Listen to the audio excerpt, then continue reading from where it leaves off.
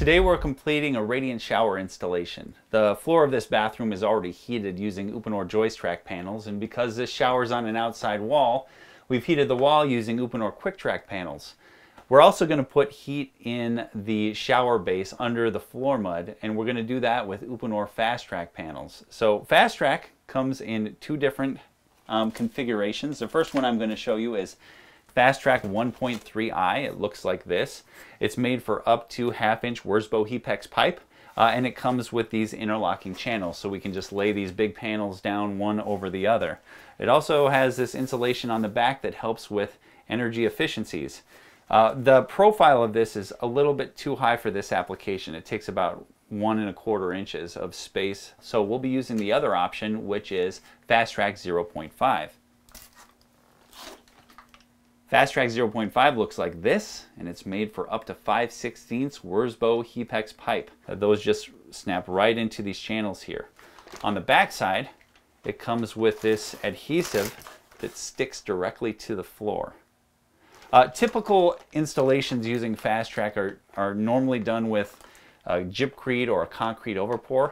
And because of that, you need to use these Quik Trak edge strips and they just lay along the wall like this and they create a dam so that the concrete or the gypcrete doesn't spill out.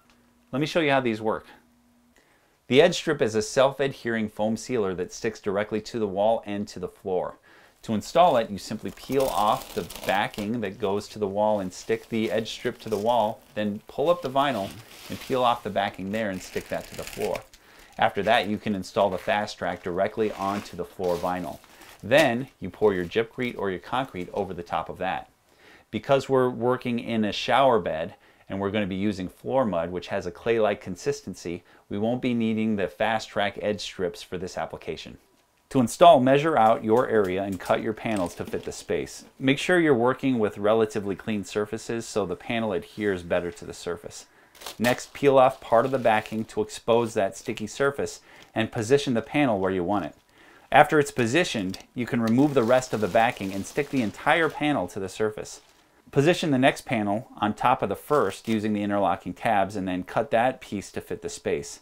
Peel back a starting section to position the panel and tack it into place and then peel off the remaining backing to secure it. Repeat this until the entire area is installed. And finally, take your 5 16 Wirsbo hePEX pipe and install it in whatever pattern you like. With Uponor Fast Trak, you can install radiant systems over existing flooring quickly and affordably.